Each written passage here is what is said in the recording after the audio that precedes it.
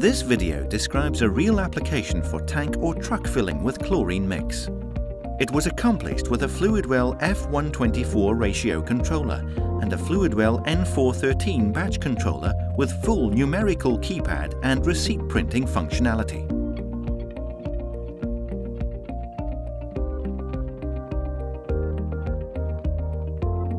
This application is designed to fill a tanker with a mix of chlorine solution and water. The ratio of chlorine solution to water is 5.09 to 1, stated as a ratio of 19.63%, which is programmed into the ratio controller.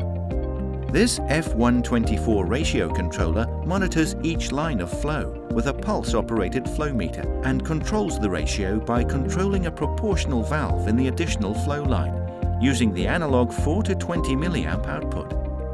The N413 batch controller controls the batch size by monitoring a flow meter input from the combined flow line.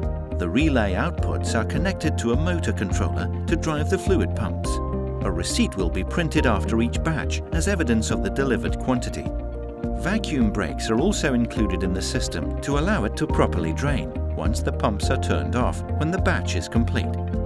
The process begins when a new tank or truck arrives to be filled. The operator sets the ratio controller to hand mode, allowing an output to be forced despite the lack of flow. This feature will prevent the lag in the addition of the additive, often seen in this sort of application, by forcing an initial state for the additive valve. Then simply pressing the Start button of the N413 batch controller will begin the process. Two heavy-duty relay outputs of the N413 trigger the motor controller to start running the pumps for both the chlorine solution and the water. A soft start slowly ramps up the rate of flow for both the chlorine and the water. The hand mode setting assures that the additive valve is opened to allow a mix with the low flow of chlorine. This is useful if the low start flow is too low to accurately be registered by the flow meters, or the pump's activation is too fast for the ratio controller output to keep up with it on initial startup. As the flow rate increases, the operator changes the ratio controller back into ratio control mode. A bumpless transfer feature maintains the previously set ratio of 19.63%.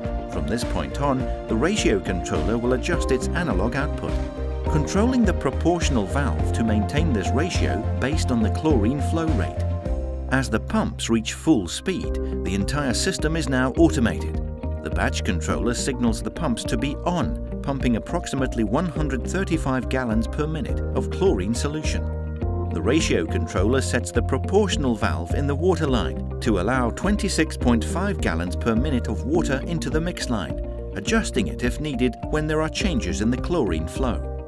The batch controller totals the combined volume of flow going through the outlet flow meter, 161.5 gallons per minute, as it tracks the batch progress. Even at these speeds, it will take close to 45 minutes to fill this 7,000 gallon truck. Luckily, the system is now fully automated with the N413 displaying how much mixture is batched. The user is now free to bring his attention elsewhere while the system completes its batch process.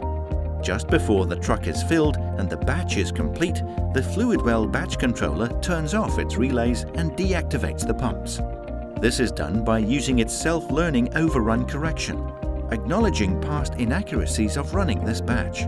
This activates the vacuum brakes and the fluid remaining in the system which has already passed the pumps can drain into the truck.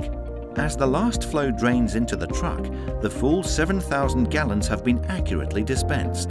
The batch controller knows from past batches that an overrun was expected and automatically calculated the overrun cutoff time, turning off the relays just early enough that this excess flow would be counted in the batch process. A ticket is printed automatically after each batch. Multiple reprints are easily executed on demand. With the 7,000 gallon batch complete and accurate, this truck is ready to roll. For accurate ratio-controlled batch processing, you've got to have a Fluidwell.